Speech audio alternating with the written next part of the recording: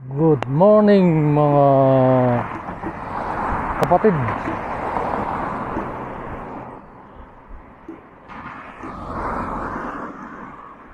Ngayon ay holiday dito ngayon sa Vienna, Austria.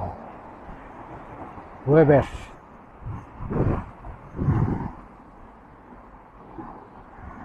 Kumusta ko dyan mga kulukoy?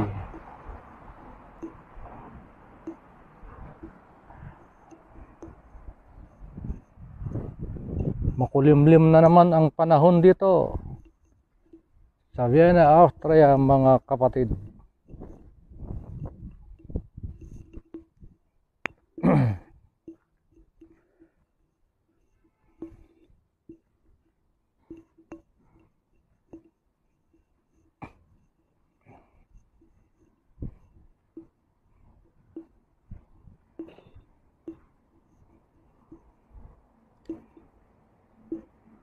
Tayo